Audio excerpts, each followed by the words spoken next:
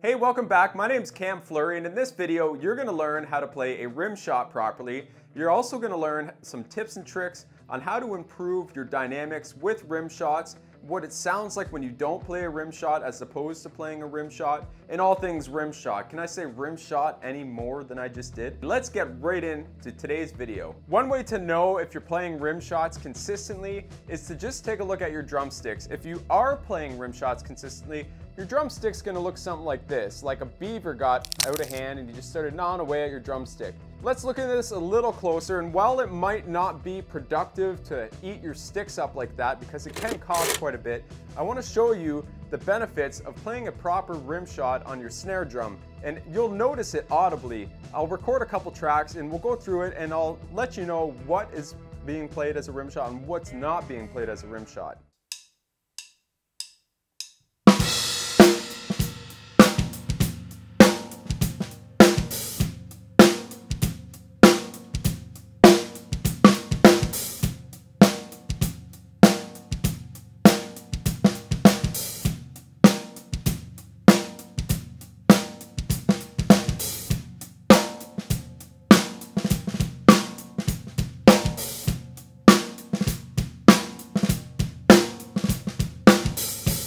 I want to let you know that if you're trying to gain more control or build speed and endurance on the drum set, I've got a free mini course for you down in the description below. Just click on the link. It's completely free. There's no ifs, ands, or buts about it. It's yours to keep for a lifetime. You get 15 exercises with PDF downloads and you can interact with the rest of the community that's inside of this mini course. So if that's something you want to do and you would like to progress on the double bass pedals on your drumming journey, then I highly suggest clicking the link below and you'll get it immediately. Now back to the lesson.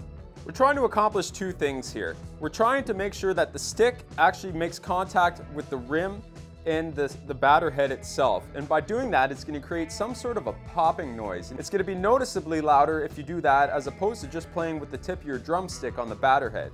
You've probably experienced this before. The second reason why we're trying to accomplish a rim shot is so that we can have consistency and loudness in our playing. If we're trying to make a nice drastic contrast in between our grace notes, our ghost notes, and the accented notes, this is a sure fire way to make that apparent in our playing. I've been noticing more and more a lot of other drummers are doing this and this is what I want you to avoid when you're playing your rim shots. When they're going in for the rim shot, they're not letting the stick rebound out of their hand. They're just keeping it hard on the surface. The problem with that is that energy has nowhere to go except back up and through your arm. So what that's gonna do is prolong exposure to injury. And a lot of times too, like in construction, if you're working on a jackhammer or anything that vibrates for a long period of time, it's going to cause nerve damage or trigger finger, where your finger locks up. Yes, it happened to me from jackhammering on bridges. So I want you to keep that in mind. Proper technique is very important. If you're gonna be playing rim shots, you need to let that stick bounce back, okay? And I don't mean like this, not having complete control over the rebound. What I'm saying is that we don't want to force it into the head. And if you do that on your own, if you try it on your snare, you'll notice the tension in your elbow and that is very painful. That can cause tennis elbow. So I want you to keep that in mind when you're playing. Just kind of let that stick float. You want to be able to keep control of it, but you don't want to lose control, if that makes sense. The second thing I'd like you to take note of is that the rim of my snare is actually sitting above my leg. And that also includes even if I'm playing double pedals. If I want to play a solid rim shot while I'm playing double pedals, my legs won't get in the way and that won't deter me from messing up my double pedal pattern. What my suggestion is to you is to bring your snare height up just a little bit.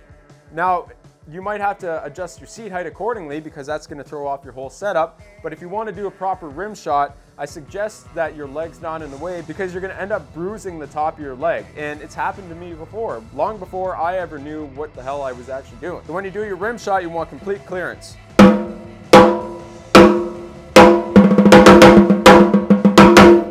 And that means for both legs. If that means that you have to flatten out your snare and it's a little difficult for you and all you're getting are actual rim stick clicks, then you can adjust it accordingly. If you gotta bring it up a little bit, by all means, try that out too. So this video is nice and short and sweet. I wanted to get right to the point and cut out all the fluff. If you have any comments, questions, or concerns, or anything you'd like to add that I missed in this video that can help other drummers around the world, then please do comment your suggestions, your ideas more importantly, down below. And remember that you can do this. I know you can do this. If you get frustrated, take some time away, come back, and you'll get it next time, I promise. Thanks so much for watching this video. My name's Cam Fleury, and I'll see you in the next one.